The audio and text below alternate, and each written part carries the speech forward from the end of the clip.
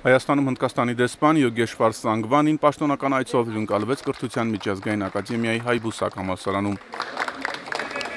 Սա արդեն Հնդկաստանի երրորդ դեսպանի այցն էր համալսարան։ Հանդիպում կոնֆերանսը կազմակերպվել էր Հնդկաստանի անկախության 70-ամյակին ընթരാճ խորագրով։ Մեր համալսարանում վաղուց արդեն շուրջ 13 տարի է սովորում են Հնդկաստանից ուսանողներ։ Եվ բացի այդ պատմական փաստեր կան, գիտենք հանրահայտ այն մասին, որ հայ ժողովրդին եւ հնդիկ ժողովրդին կապում են բազմաթիվ մշակութային, առևտրային, պատմական շատ հանգամանքներ։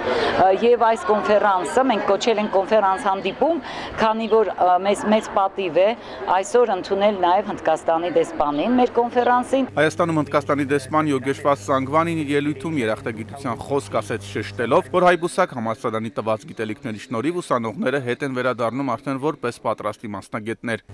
Ինձ համար մեծ պատիվ է ներկա գտնվել այսօր այս միջոցառմանը Հայբուսակ համալսարանում։ Հնդկաստանը եւ Հայաստանը միշտ էլ բարեկամական հարաբերություններ են ունեցել, հատկապես անկախությունից սկսած։ Իսկ Հայաստանի անկախությունից հետո Հայաստանի եւ Հնդկաստանի միջև ստեղծվեց ավելի մեծ բարեկամական կապեր։